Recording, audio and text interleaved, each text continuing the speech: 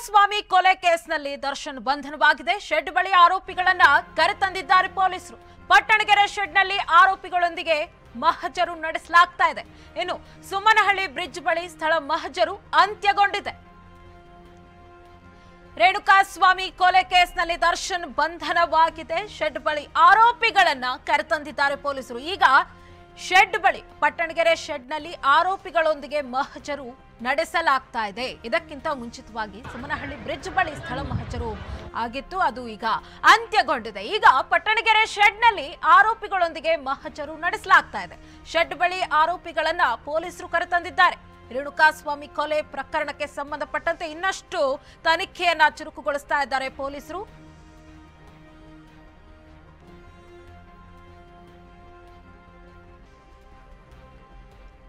ರೇಣುಕಾಸ್ವಾಮಿ ಕೊಲೆ ಕೇಸ್ನಲ್ಲಿ ದರ್ಶನ್ ಬಂಧನವಾಗಿದೆ ಪವಿತ್ರ ಗೌಡ ಬಂಧನವಾಗಿದೆ. ಟೋಟಲ್ ಹದಿಮೂರು ಆರೋಪಿಗಳನ್ನ ಈಗಾಗಲೇ ಬಂಧನ ಮಾಡಲಾಗಿದೆ. ಈಗ ಒಂದೊಂದಾಗಿ ಸ್ಥಳ ಮಹಜರ ಮಾಡ್ತಾ ಬರ್ತಿದ್ದಾರೆ. ಸುಮ್ಮನಹಳ್ಳಿ ಬ್ರಿಡ್ಜ್ ಬಳಿ ಸ್ಥಳ ಮಹಜರು ಈಗ ಈಗಲೇ ಅಂದ್ರೆ ಸದ್ಯದಲ್ಲೇ ಅಂತ್ಯಗೊಂಡಿದೆ. ಈಗ ಶೆಡ್ ಬಳಿ ಆರೋಪಿಗಳನ್ನ ಪೊಲೀಸರು ಕರೆತಂದಿದ್ದಾರೆ. ಶೆಡ್ನಲ್ಲಿ ಅವರನ್ನ ಹೊಡೆಯಲಾಗಿತ್ತು, ಹಿಗ್ಗಾಮುಗ್ಗ ಥಳಿಸಲಾಗಿತ್ತು, ಬೆನ್ನಿನ ಮೇಲೆ ರಾಡ್ನಿಂದ ಹೊಡೆಯಲಾಗಿತ್ತು. ಸಾಕಷ್ಟು ಕೇಳಿ ಬಂತು ಶೆಡ್ನಲ್ಲಿ ಏನೇನಾಯ್ತು ಅನ್ನುವುದರ ಬಗ್ಗೆ. ಈಗ ನೇರವಾಗಿ ಶೆಡ್ ಬಳಿ ಆರೋಪಿಗಳನ್ನ ಕರೆತಂದಿದ್ದಾರೆ ಪೊಲೀಸರು. ಪಟ್ಟಣಗೆರೆ ಶೆಡ್ನಲ್ಲಿ ಆರೋಪಿಗಳೊಂದಿಗೆ ಮಹಜರು ಮಾಡಲಾಗ್ತಾ ಇದೆ. ನೀವು ಇದೇ ವಿಚಾರಕ್ಕೆ ಸಂಬಂಧಪಟ್ಟಂತೆ ನಮ್ಮ ಪ್ರತಿನಿಧಿ ವಿವೇಕ್ ದೂರವಾಣಿ ಸಂಪರ್ಕದಲ್ಲಿ ಜಾಯ್ನ್ ಆಗಿದ್ದಾರೆ. ಎಸ್ ವಿವೇಕ್, ಈಗ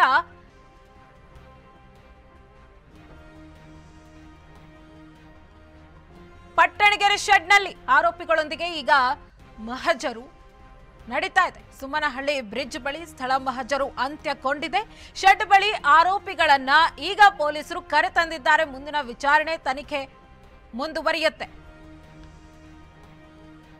ವಿವೇಕ್ ಜಾಯಿನ್ ಆಗಿದ್ದಾರೆ. ಎಸ್ ಲೈವ್ನಲ್ಲಿ ಜಾಯಿನ್ ಆಗಿದ್ದಾರೆ. ಎಸ್, ವಿವೇಕ್, ಈಗ ಶೆಡ್ ಬಳಿ ಆರೋಪಿಗಳನ್ನ ಕರೆತಂದಿದ್ದಾರೆ ಇನ್ನಷ್ಟು ತನಿಖೆ ತೀವ್ರ ಚುರುಕುಗೊಳಿಸ್ತಾ ಇದ್ದಾರೆ. ಏನ್ ಹೇಳ್ತೀರಿ ವಿವೇಕ್? ಏನೆಲ್ಲ ಅಪ್ಡೇಟ್ಸ್ ಇದೆ?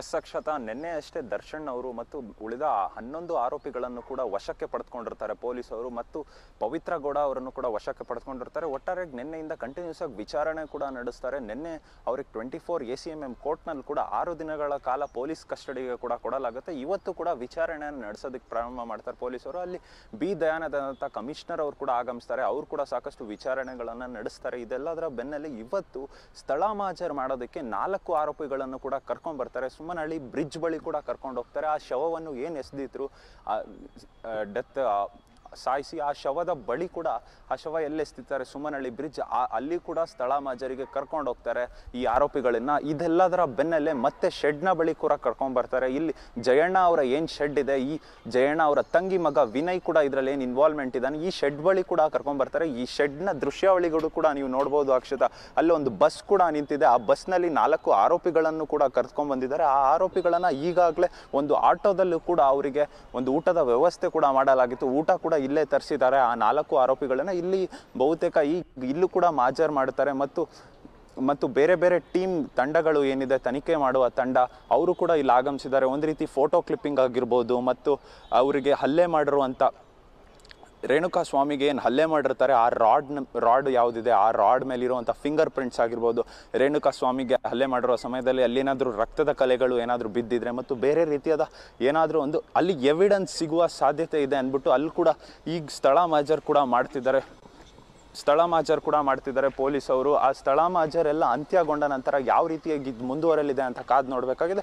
ಮತ್ತು ಇಲ್ಲಿ ಈ ಸ್ಥಳದಲ್ಲಿ ಸಾವನ್ನಪ್ಪಿದ ರೇಣುಕಾಸ್ವಾಮಿ ಅವರು ಅವರಿಗೆ ಹೊಡೆದಂಥ ಸಮಯದಲ್ಲಿ ಇಲ್ಲಿ ಪವಿತ್ರ ಗೌಡ ಅವರು ಕೂಡ ಇಲ್ಲೇ ಇದ್ದರು ದರ್ಶನ್ ಅವರು ಕೂಡ ಇಲ್ಲೇ ಇದ್ದರು ಅನ್ನೋ ಒಂದು ಮಾತುಗಳು ಕೂಡ ಕೇಳಿ ಬರ್ತಿದೆ. ಈ ನಿಟ್ಟಿನಲ್ಲಿ ದರ್ಶನ್ ಅವರಾಗಿರ್ಬೋದು ಮತ್ತು ಪವಿತ್ರ ಗೌಡಗಾಗಿರ್ಬೋದು ಇವರಿಬ್ಬರಿಗೂ ಸಹ ಇಲ್ಲಿ ಸ್ಥಳ ಮಾಜರ್ಗೆ ಕರ್ಕೊಂಬರೋ ಬಹುತೇಕ ಸಾಧ್ಯತೆ ಇದೆ ಅಂತಲೇ ಹೇಳ್ಬೋದು. ಈಗಾಗಲೇ ನಮಗೆ C C T V footages ಕೂಡ ಲಭ್ಯವಾಗಿದೆ. ದರ್ಶನ್ ಅವರು ಎರಡು ಬಾರಿ ಈ ಸ್ಥಳಕ್ಕೆ ಕೂಡ ಆಗಮಿಸ್ತಾರೆ. ಮೊದಲನೇದಾಗಿ ಜೂನ್ ಎಂಟನೇ ತಾರೀಕು ಆ ವ್ಯಕ್ತಿ ರೇಣುಕಾ ಸ್ವಾಮಿ ಏನು ಸಾವನ್ನಪ್ಪಿದ್ರು, ಆ ದಿನ ಕೂಡ ಅಷ್ಟೇ ರೆಡ್ ಜೀಪ್ನಲ್ಲಿ ದರ್ಶನ್ ಅವರು ಇದ್ರೋ ಇಲ್ವೋ ಇನ್ನೂ ಕೂಡ ಬಹುತೇಕ ಕನ್ಫರ್ಮ್ ಆಗಿಲ್ಲ. ಆದರೆ ಅವರ ರೆಡ್ ಜೀಪ್ ಕೂಡ ಇಲ್ಲಿ ಕಾಣಿಸ್ಕೊಳ್ಳುತ್ತೆ. ಆ ಸಿ ಸಿ ಟಿ ವಿ ದೃಶ್ಯಾವಳಿಗಳು ಕೂಡ ಲಭ್ಯ ಆಗಿದೆ. ಮತ್ತು ಅದರ ಬೆನ್ನಲ್ಲೇ ನೆಕ್ಸ್ಟ್ ಇನ್ನೊಂದು ಬಾರಿ ಜೂನ್ ಒಂಬತ್ತನೇ ತಾರೀಕು ಕೂಡ ದರ್ಶನ್, ಬೆಳಗಿನ ಜಾವ ದರ್ಶನ್ ಅವರ ಜೀಪ್ ಕೂಡ ಇಲ್ಲಿ ಪಾಸ್ ಆಗುತ್ತೆ. ಆ ದೃಶ್ಯಾವಳಿಗಳು ಕೂಡ ಲಭ್ಯವಾಗಿದೆ. ಇದೆಲ್ಲದರ ಬೆನ್ನಲ್ಲೇ ಆ ರೇಣುಕಾ ಸ್ವಾಮಿನ ಏನು ಕೊಲೆ ಮಾಡಿದ್ರು ಅವರ ಶವವನ್ನು ಕೂಡ ಮೂಟೆಯಲ್ಲಿ ಕಟ್ಟಿ ಆ ಸುಮ್ಮನಹಳ್ಳಿ ಬ್ರಿಡ್ಜ್ನ ಬಳಿ ಕೂಡ ಎಸಿ ಎಸಿತಾರೆ ಆ ಬ್ರಿಡ್ಜ್ನ ಬಳಿ ಎಸಿದಂಥ ಸಮಯದಲ್ಲಿ ಅಲ್ಲೂ ಕೂಡ ಸ್ಥಳ ಮಾಜರ್ ಕೂಡ ನಡೆಸಿದ್ದಾರೆ ಪೊಲೀಸರು. ಅಲ್ಲೂ ಕೂಡ ಬಹುತೇಕ ದರ್ಶನ್ ಅವರಾಗಿರ್ಬೋದು ಮತ್ತು ಇನ್ನು ಉಳಿದಂಥ ಗ್ಯಾಂಗ್ ಅವರ ದರ್ಶನ್ ಗ್ಯಾಂಗ್ ಏನಿದೆ ಹನ್ನೊಂದು ಆರೋಪಿಗಳು ಅವರಿಗೂ ಕೂಡ ಅಲ್ಲಿ ಸ್ಥಳ ಮಾಜರ್ ಮಾಡುವ ಕರ್ಕೊಂಡು ಹೋಗಿ ಸ್ಥಳ ಮಾಜರ್ ಮಾಡುವ ಸಾಧ್ಯತೆ ಇದೆ. ಏನೆಲ್ಲ ಗೊತ್ತಾಗಿದೆ ಅಂತ ಮಾಹಿತಿ ಏನೆಲ್ಲ ಕಲೆ ಹಾಕಿದ್ದಾರೆ. ಸುಮ್ಮನಹಳ್ಳಿ ಬ್ರಿಡ್ಜ್ ಬಳಿ ಕೂಡ ಮಹಜರು ನಡೆಸಲಾಗಿತ್ತು.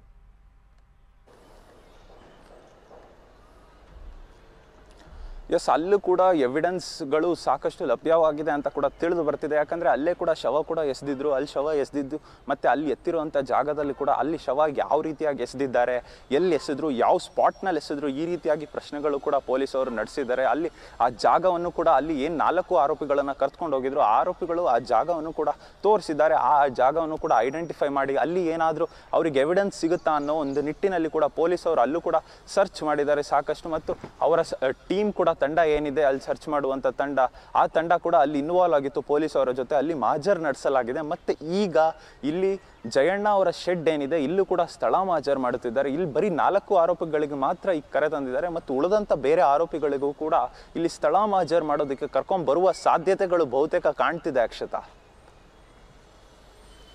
ಓಕೆ ಧನ್ಯವಾದಗಳು ವಿವೇಕ್ ತಮ್ಮೆಲ್ಲ ಮಾಹಿತಿಗಳಿಗಾಗಿ.